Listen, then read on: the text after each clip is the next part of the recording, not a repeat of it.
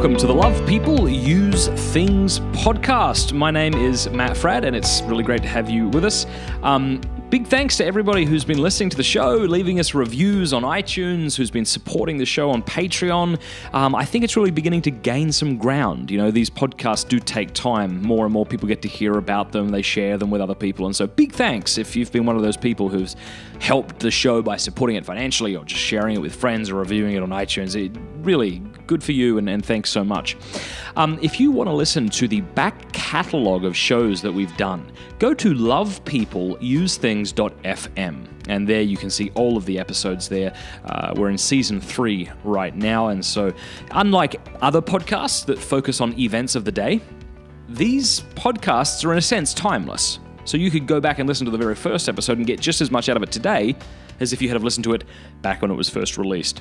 So whether you're somebody who's struggling with pornography, whether you love somebody who does, or maybe you're just looking for more information so that you can write a better class paper, these podcasts I think are going to be a big help. So again, go to lovepeopleusethings.fm. I got a treat for you today. I want to share with you a uh, talk that was given by my friend uh, Dr. Donald L. Hilton, who is a neurosurgeon, uh, an MD. He's written uh, numerous peer-reviewed uh, articles or studies on how pornography affects the brain. Very knowledgeable guy. And in today's episode, he's going to share uh, with you how porn affects the brain and what can be done about it. The title of the talk is Pornography Addiction A Supranormal Stimulus and Neuroplasticity. So if you've been wanting to know what does neuroscience say about the brain, this is, uh, and how pornography affects the brain, I should say. This podcast is going to help you tremendously. This talk by Dr. Donald Hilton is going to help you tremendously. If you want to support the Love People Use Things podcast and the work that I do as I travel around the country and give talks, and if you want to get a bunch of free stuff in return, all you got to do is go to lovepeopleusethings.fm. There you can support this show and this work for $10 a month.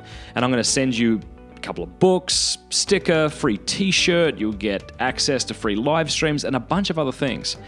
Um, so it's it's a pretty cool thing that I'm giving you in return for your support. I won't go through all those gifts. You can go and look at exactly what those gifts are: signed books, stickers, as I say, all those different things. Go to lovepeopleusethings.fm, click support, and choose to give ten bucks a month, or you can give more if you want. Or you're going to give two bucks a month if you want. I don't care. Just help me uh, keep this show going. That would be tremendous, and I'd be humbled and grateful by your support, for your support.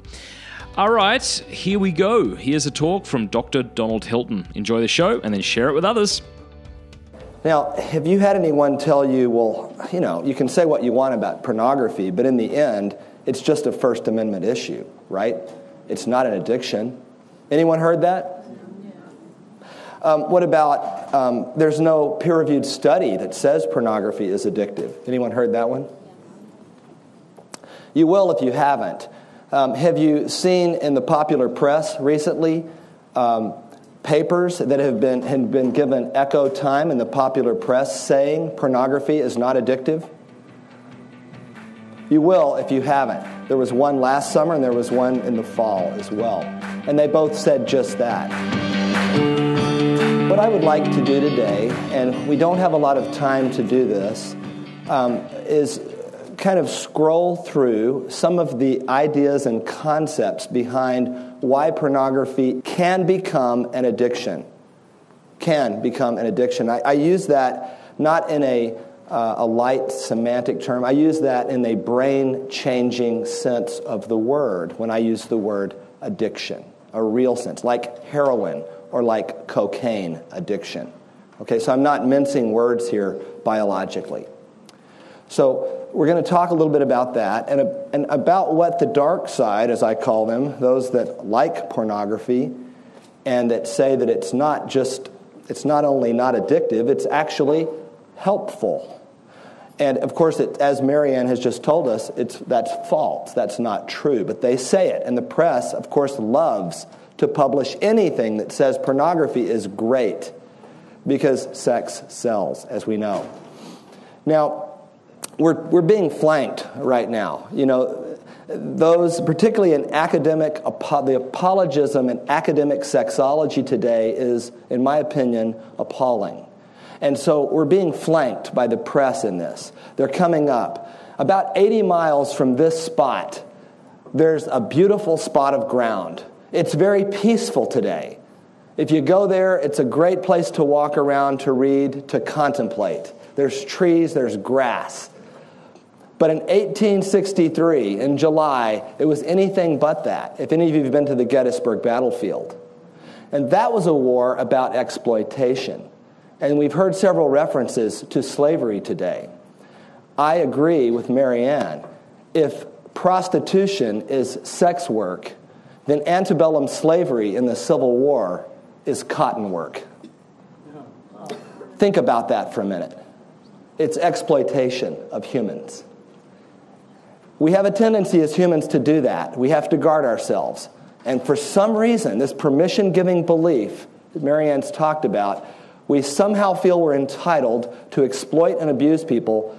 It's with racism, with everything, if it's sexual. If we attach sexuality to it, it's okay to exploit and abuse human beings today, still. If you're approached by anyone, either from the press or for academics or those that challenge you and say it's not an addiction, please talk to me. I'd be happy to help you talk to them. Now, this paper here, and it's in the back, uh, the, the talk really comes from this, and I'm going to, I'm not going to uh, strictly follow or adhere to what this is talking about. This is a paper I published in the journal Socioaffective Neuroscience and Psychology last year. And basically, what it says, it's a lot of kind of what does those words mean, but supranormal stimulus, we'll talk about, means something that we don't normally encounter in nature, or something that's extra, what we usually account. Like if I'm really hungry and I'm going back and there's a plate of celery or there's German chocolate cake, the German chocolate cake's going to win. It's a higher stimulus, right? Of course. And so the other thing is neuroplasticity. Well, plastic means changeable, moldable. Can the brain change? Can it mold if we learn? Oh, absolutely. Yes. The answer is no question. It does change if we learn.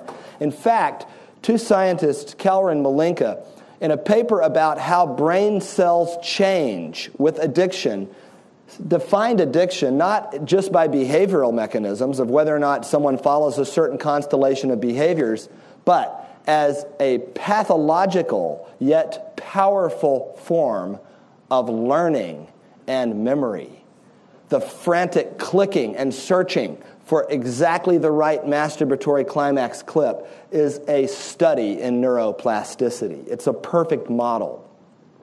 Now, the dark side doesn't agree with us here. This is Steve uh, uh, senior editor of XBiz.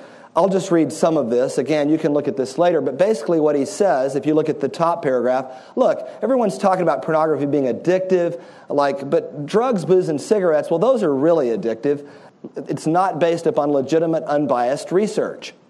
Uh, in fact, he goes on that says these are measurable. These are physical things. So, the number one thing he says to be addictive, it has to be a physical agent, something you take into your body. It can't be a behavior. That's, he clearly says that here. And then um, no one ever died from looking at porn. We know that's not true. There's something called psychiatry, an emotional axis, melancholy, depression that produces suicide, all these things.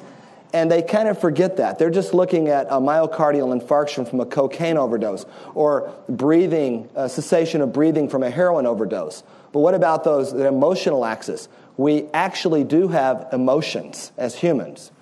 And then the bottom one, he kind of scoffs. I mean, come on. Ice cream, chocolate. There's a researcher at UCLA currently saying porn is good, it's not addictive. And in fact, it's just like chocolate, it's the same part of the brain. Yeah, it is. Porn, pornography and chocolate, same part of the brain lights up. Cocaine, same part of the brain. Heroin, same part of the brain. Alcohol, same part of the brain. Okay, so it's just a matter of degree and type. Now, Another one, back uh, in, in this uh, last election cycle we had, one of the apologists said, There's not even a smidgen that such evidence exists. Not a smidgen. Not, so I'd like you, as we go through some of this today, to just remember the word smidgen and see if you agree at the end, okay? And the word evidence. And we'll talk about that word as we go through this. Now, this is one, uh, Dr. Marty Klein, and we'll read what he said. Let's take a moment. He said another way to conceptualize sex addiction is as a violation of society's moral. Now, he's using the word moral because that implies a judgment thing that you and I may have a different opinion about what is moral or not, right? And of course, we all might have subtle nuances in how we define that term. So, he's defining it strictly on a First Amendment judgment basis, standards along with someone's distress so it's arbitrary. There's no distress and there's no moral violation, then there's no problem. One should not self stimulate too much according to common norms. One should not have too much indiscriminate sex, cheat on one's spouse, be too sexually involved with porn, objects, or with those whom there's no romantic love to redeem the sex, such as casual pickups or sex workers. The sex addiction concept helps patrol these arbitrary moral boundaries. At its core, addiction isn't just a social problem or a moral problem or a criminal problem. It's a brain problem whose behaviors are manifest in all these other areas. It's about underlying neurology, not outward actions. It's Dr. Michael Miller of ASAM, the American Society of Addictive, Addiction Medicine. And basically, he's saying, no, Marty Klein, Dr. Klein, it's not about morals only. Yes, we may have our moral opinions, but there's a biological argument as well. And so, while you're strictly defining it on morals and, and ignoring any biological consideration, we're saying, have your morals if you want, but there's a biological consideration as well. And that's what's important here. ASAM's definition said that addiction is a chronic disease. They use the disease word of the brain. Why? That means departure from normal, affecting three systems reward, motivation, and memory. And for the first time, addiction is defined as including non substance addictions in their new definition, such as to food, sex, and gambling. This is huge. So, in other words, pornography addiction is a natural, what we call natural addiction that is a legitimate brain addiction according to the American Society of Addiction Medicine, which is composed of medical doctors who, by requirement, have to have a medical doc, a, degree uh, as an MD to be able to treat drug withdrawal. So they're very biologically based group, okay? And so they're saying that yes, it is natural drug, it's all the same. Whereas you have some academic sexologists like Dr. Klein who basically say, mm, I, I know more about the biological considerations in these MDs, and I'm saying, no, it's not. So, um, going on, as far as natural or drug addiction, so we have this concept, and you'll see uh, when you talk about natural or process addiction, sexuality, food, and gambling, of course, we're familiar with cocaine, methamphetamine, opioids. And so we also, you'll hear the term for natural addiction as process or addictions to a process. So ASAM's definition in the, de- if you go to their webpage, addiction affects neurotransmission and interactions between memory circuits and brain reward structures, such that the memory of previous exposures, there's that memory, remember? motivation, reward, and memory are the three axes in the brain that are affected by addiction. So, memory, of previous exposures to rewards such as to food, sex, alcohol, and other drugs leads to a biological and behavioral response to external cues, in turn triggering craving and or engagement in addictive behaviors. Based on biolo- behavior, not biology, according to the DSM.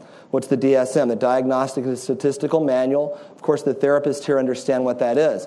Basically, this is the Bible for some in terms of what is an addiction and what is not an addiction. The DSM 5 that just came out said, eh, we don't think it's an addiction. Interestingly, they did put one behavioral addiction in their behavioral addiction section. They said gambling, and yet they left out uh, food and they left out sexuality. Now, if you go back to the DSM 3 in 1980, it was atheoretical. In other words, they said, we're not in, even going to try to be a biological etiology manual. We're not going to even say what addiction is or what causes it. We're just going to describe the behavior and base our diagnosis on a patient coming into the office use interview and observation to make a diagnosis on that patient. And that is actually the utility of the DSM. And it's helpful as a field manual for that. The problem is that many now think it's a biology textbook and that it's supposed to tell us what the brain says, what a brain addiction is. And since 1980, the DSM 3, they said, look, we're not going to be that. We're going to stay out of the biology business. Why do we think still, we culturally, and why does the press, why do we still try to make the DSM a biology textbook? The diagnostic and statistical manuals, there's five, five editions.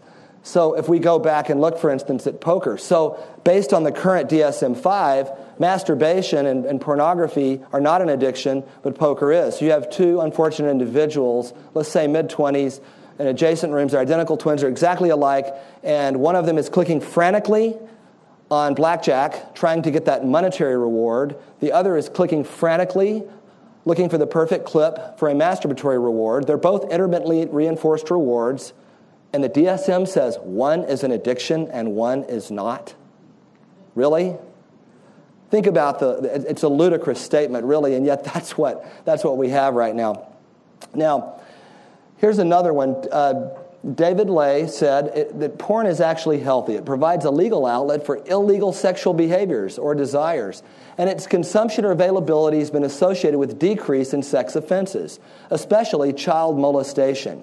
We need better methods to help people who struggle with high frequency use of visual sexual stimuli without pathologizing them or their use thereof. Okay, I, I don't have time right now. Marianne's done a wonderful job of going through and debunking this patently false statement. This is false. This is not true. And again, if you want to come talk to either one of us, to Gail, to Minnie, we can, we can go through the literature. We can talk about why they say this, this decrease in sexual offenses.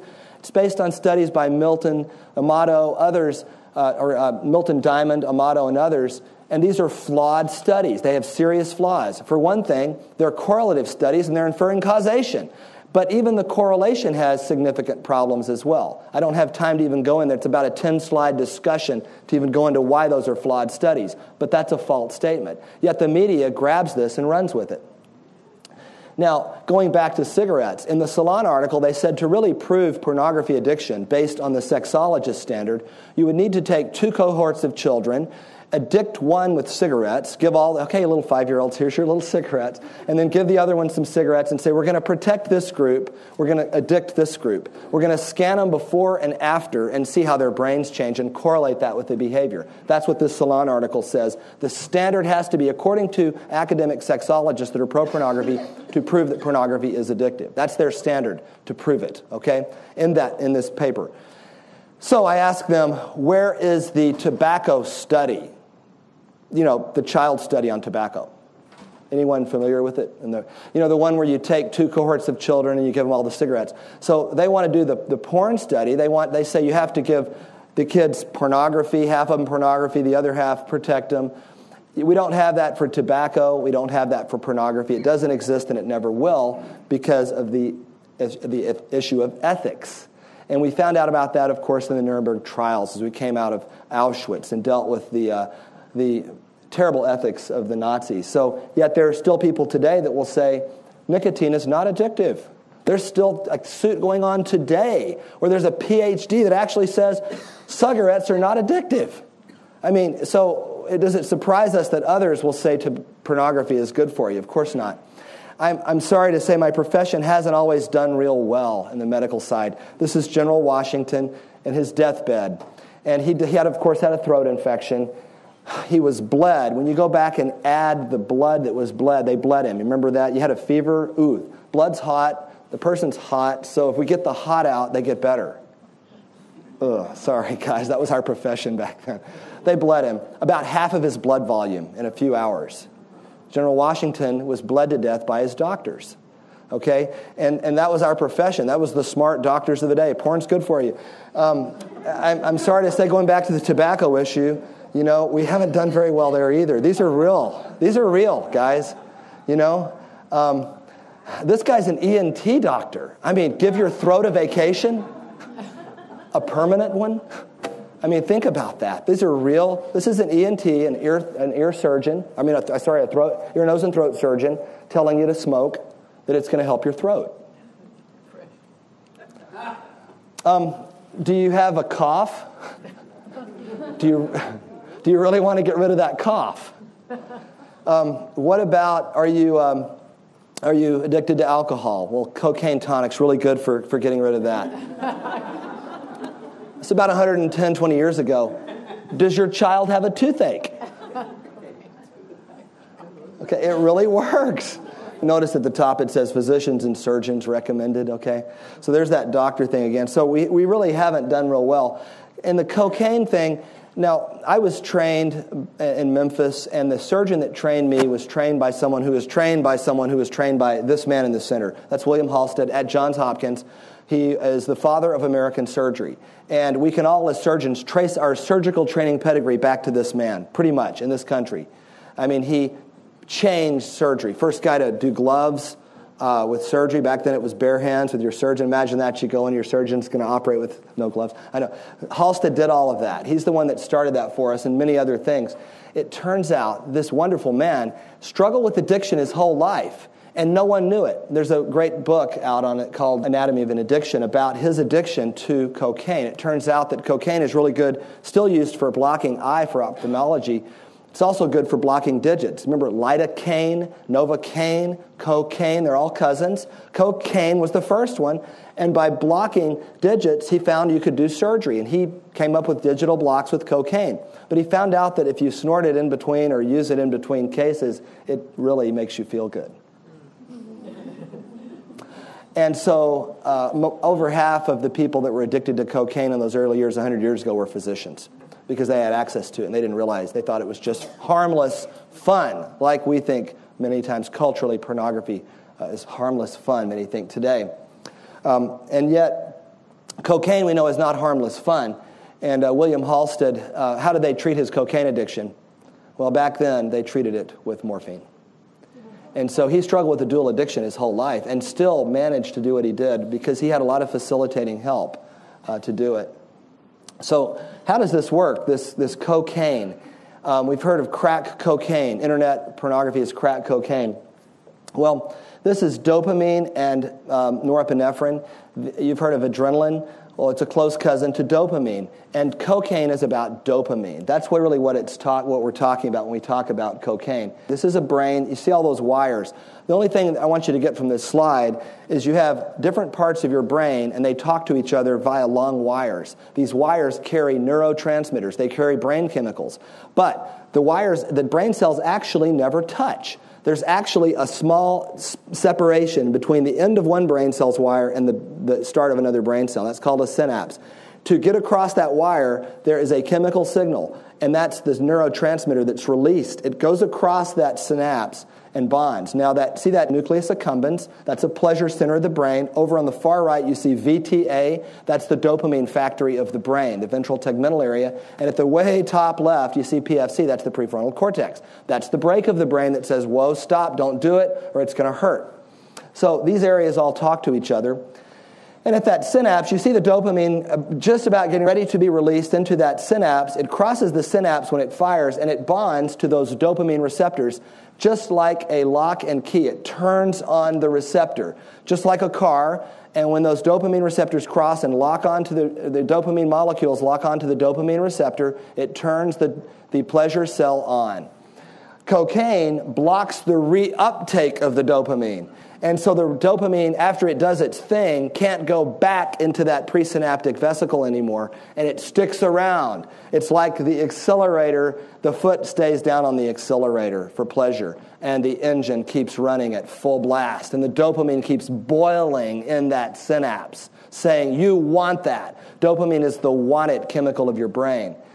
And so if we look at different spikes, up on the top left, eh, methamphetamine, particularly methamphetamine, you get a thousand percent spike in dopamine in that nucleus accumbens. And that's why meth addicts do not do well for very long. Notice cocaine, over 300% spike in that dopamine. Nicotine, over 200. Morphine, 200% spike. But look at natural rewards 150% spike with food, and sex is comparable. An orga- sexual orgasm is comparable to morphine at 200. That's a powerful and potent natural reward. So, what happens then is if you keep that accelerator on, the brain says, I like pleasure, but you're killing me. It's way too much. And in doing so, the brain cells start to change, physically change. And this is true with multiple addictions. you notice on that far right, the top are two normal cells. That one on the left is a dopamine producing cell, the one on the right is a pleasure cell. On the bottom, you see a shrunken dopamine cell. What the brain says is, I like pleasure, but you're killing me. Would you turn off, would you turn off that, uh, that dopamine a little bit? And so it slows it down. It doesn't fire as much. And you have these dendrites that arborize on the other side. What that does is that it creates a new normal in the brain. In the case of internet pornography, it's harder content is needed now because you have a downgraded dopamine system. You have fewer, fewer, dopamine receptors and less dopaminergic input from the ventral tegmental area with overuse of the natural or drug reward. And now the brain is craving pleasure. Okay, so this new normal means harder content, something else to kick the brain back up to speed. So now, whereas in a normal person to the left, that control frontal area has a big enough brake to stop the brain, on the right, you see this decreased frontal response that also happens with addiction. And now you have this increased salience, this increased craving, and it provides the drive to use. Do we have a study on pornography specifically? We do. It's not published yet. And does this prove pornography is addictive? No, that's already been proven if you understand the evidence. I would agree that there is no smidgen of evidence that they, the sexologist, can understand. There's a smidgen of evidence, all right. It's just that they either can't or won't understand it. Now, Valerie Voon at Cambridge has done a study. It's not published. She presented it. I spoke with her in Phoenix. And yes, it shows an incentive sensitization to pornography in people addicted to pornography that looks very similar to cocaine and other drugs. And so it's a really, really convincing study specifically on pornography, and it will publish uh, soon. So again, we know it already because we understand some other concepts. I'm not going to read this whole slide. You can read it later. But Marc Lewis, who was addicted to about every drug you can imagine, wrote a book about his addiction when he became a neuroscientist later. And in that, he talks about dopamine. And he says, whether in the service of food or heroin, love or gambling, and notice he's including drug and natural rewards together, Dopamine forms a rut, a line of footprints in the neural flesh, and those footprints harden and become indelible, being an intractable path to a highly specialized and limited pot of gold. So, what happens? What is this desire? Remember in the, the Eagles song Hotel California, and he wrote that it's actually the lights of LA that they were seeing when they first came into the city. He writes that he goes up, there's a girl at this hotel. She invites him in. He thinks, he says it could be heaven or it could be hell. He goes in. He ends up in a feast. Remember, they stab it, he says in the song, with their steely knives, but they just can't kill the beast. They can't satiate the craving. And then the metaphor for addiction. Last thing I remember, I was running for the door. I had to get back to the place where I was before. Relax, said the night man. We are programmed to receive. You can check out anytime you like, but you can never leave. Powerful metaphor for addiction. Of course, he could leave, and people can leave addiction, but only with recovery, not alone. I was uh, privileged to be a member of this uh, paper and to be a co author, which was published in the National Academy of Sciences a couple of years ago. What we did is we looked at if the brain cha- turns on natural cravings, and we use salt craving, if an animal is depleted with salt, they form an intense craving. And so when that intense craving forms, that animal really feels a desire to gain salt. And so what happens is certain engines in the hypothalamus turn on, certain DNA transcripts turn on and tell that brain, you need salt. You desperately want salt. What we found was that the same DNA strands and transcripts that turn on with salt craving are the same DNA strands that turn on with cocaine and with drugs. That had never been shown. And so in our paper, we summarize that it usurps these natural pathways. Drugs usurp these natural pathways, these natural reward systems. They're important in survival. The National Geographic did an article on our paper, and they said cocaine uses the same brain paths as salt cravings. They said drugs hijack. So I like those two words about our paper, hijack and usurp. I think they're accurate. It actually changes the wires in the brain.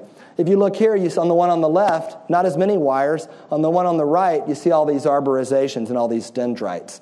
Okay, so yes, this is a, actually a paper not looking at salt and not looking at cocaine, both of which show arborization or neuroplasticity, but this is a paper on sex, looking at sexuality from Pitchers et al. in 2010. So, yes, sex is a powerful neuroplasticity modulator. Sex and neuroplasticity modulators that produce these negative uh, stereotypical behaviors are addictions. So, again, the more one understands about the brain, the more one understands how we already know this is an addiction. Um, and these are simply shows these dendrites. Literally, new wires and new connections are formed as these desires harden. And delta FosB is one of the most powerful molecular switches that forms the wires. Delta FosB is really a, a very important concept. And it's about a 30 minute talk. I don't have time for it. I'm going to skip over it. You can talk to me about it later if you'd like. But in the recent Ley paper that Marianne uh, referred to, um, the authors were very dismissive of delta FosB. It's obvious they were not trained in biology. And Eric Nestler uh, and others have not been impressed with their response. DNA transcripts, this is DNA that turns on, and the DNA transcripts that turn on with drugs. Uh, this is a paper from 2005. Is there a common pathway for all addiction? Note that natural addictions are used. And note the growing evidence at the top. It says growing evidence. And think back to that smidgen of evidence again. So many neuroscientists are coming on board that yes, there are natural addictions and that sexuality is one of them. Delta FosB is actually a marker. Um, I'm going to go through some of these. Uh, it persists in neurons at least several weeks after cessation of drug exposure, and then epigenetic mechanisms become important, where the DNA conformation changes, and the way DNA is, is expressed becomes an addictive transcript. Um, and it's not just rodents. Some of the sexologists say, oh, these are just rats. No, there's an article uh, that just came out in 2013 and shows that the same uh, operational machinery is present in humans as well. It's scaffolding and sculpting. So we have these micro changes. Does the brain change macroscopically? It does. Um, violin players, the left hand, the part of the brain that controls the left hand gets bigger the more they play. Uh, medical students, when you scan them before studying three months, their brain gets bigger after three months of studying. Yes, our brains do change as we learn. Again, I don't have time to go into that. Um, Draganski, this is a great quote on how it changes. It's causative, it's not correlative. This is causation. Um, what about addiction? Every addiction looked at, drug or natural addiction, shows shrinkage of the brain, getting smaller, okay? And yet, others in recovery, and this is an internet addiction study here, same thing. Our results indicated internet addiction would result in brain structural alterations. Result this shows recovery. Yes, we can scan recovery. We've actually seen with mindfulness therapy enlargement of gray matter with recovery. You guys ready for some hope, right? Yes. I know. I know. I'm sorry, but I. But I, you know how many people that I'll say, yeah, but there's not really a problem. And half of my research is fighting the guys that say, it's fine. So, sorry, I got to tell you the other stuff because no, you're going to hear it. That, so, and, and, again, I, give me five minutes. I got to tell them about hope. So, um, enlargement of gray matter for mindfulness therapy, dopamine receptor density with obesity returns to normal, and atrophy in gray matter, the shrinkage in methamphetamine addiction, returns to more normal volumes with recovery. So we've seen it with natural and drug addictions, evidence we can scan recovery.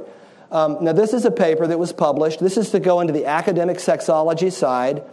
And this is a paper that was published last summer. It was by Steele, um, Staley Fong, and Prause out of the SPAN lab at UCLA. This is probably the most prolific pro porn academic source that you will see uh, at this point. They are, they are uh, pro porn central for academic papers, and there are more coming, okay? It's not stopping. They have a press machine. This made all the networks, it was all over. This is one of the ones you probably heard about. It's not an addiction.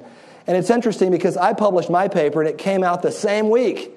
And it was another academic paper, and yet the journalists, who I'm sure were all biological addiction experts, right? Which one did they run with? Is it because they were really discerning on the cellular, you know, nuances? I don't think so. It's because one said, "Oh, porn's great. Let's do that one." Mine came out. They came out together the same week in the same journal.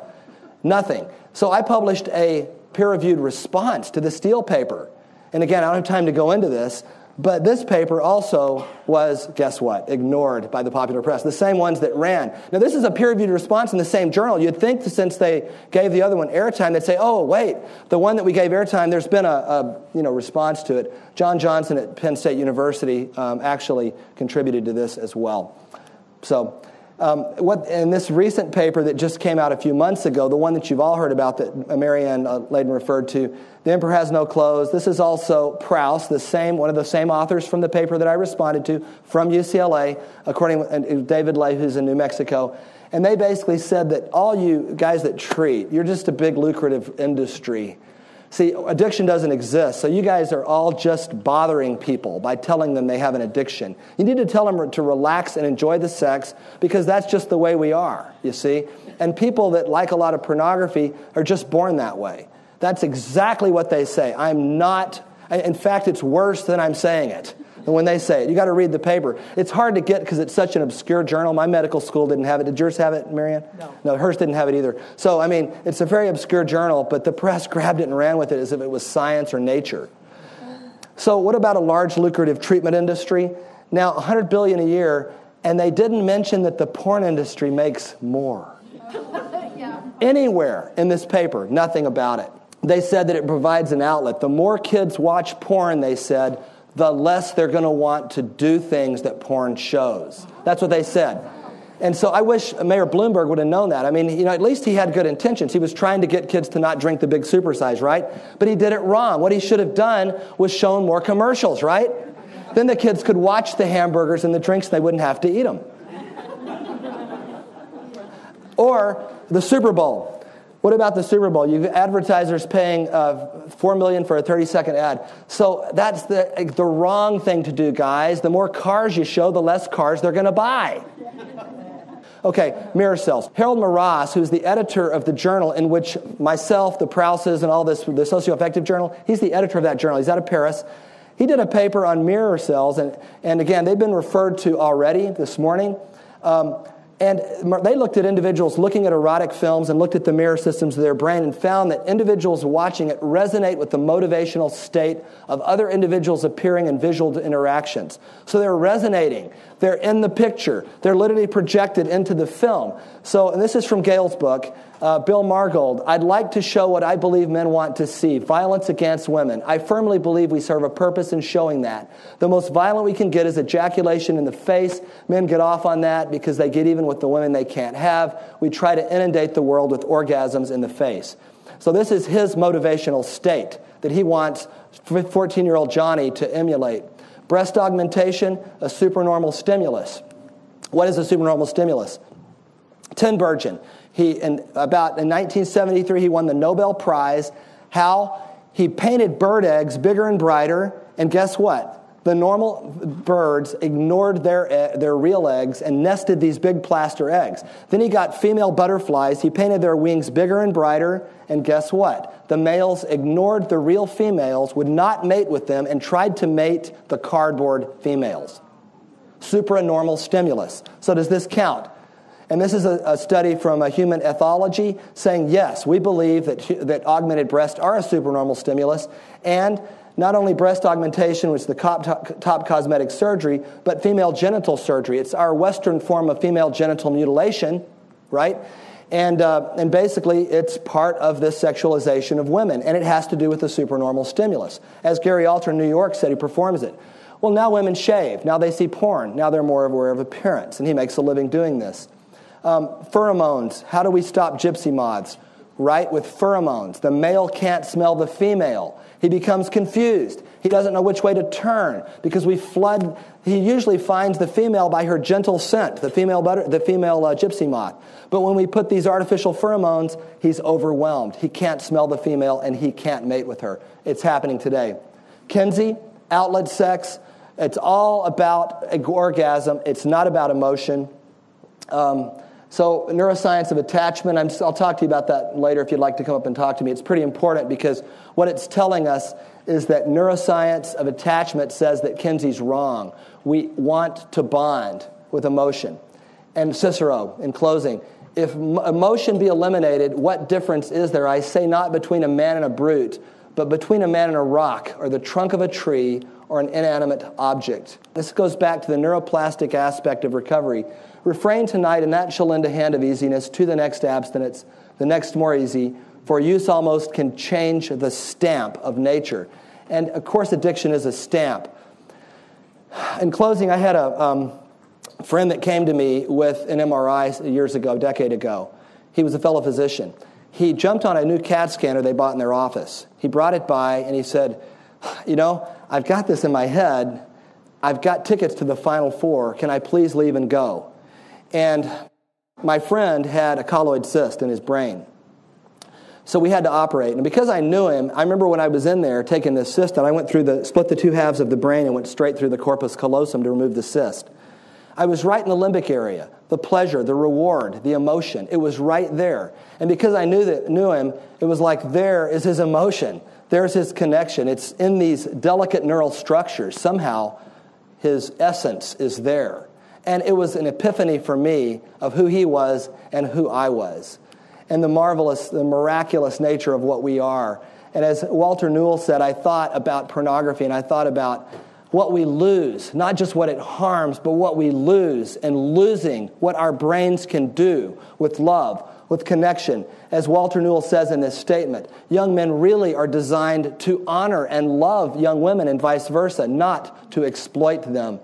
To do this for people. This, of course, was in Des Moines. Jason Ogilby was a construction worker. He's there working on his crane. The cup, this couple's boat flips over. The man dies. The woman is going down. She's on the way. He's a construction worker. He's not a rescuer. Has someone hook him up to a crane, swoops down, and saves her and pulls her out of that water. And that's what humanity is about. It's not about exploitation. This picture won the Nobel Prize, and this picture ended up creating me eventually. This is my parents. and the reason I wanted to end on this is because if you look at the emotion in their face, they weren't married yet. This is one of their first dates. You just look at the magic. Now, now, that's what it's about. Look, our brains can go to the moon. We can operate on ourselves. I mean, I have a brain, but I've operated on them. That's kind of an interesting thought. Operate on the thing that lets me think. Hamlet, the beautiful literature, uh, to the, the organizational ability of Dawn Hawkins in organizing this conference, right? Way to go, Dawn but what we can do, but you know, we can also, though, kill and hate. Our brains can do that. But we're designed for higher. We're designed to love and to bond and to feel. And that is what it's about. It's not Kinsey's hookup, it's much, much more. We are better than that. Thank you.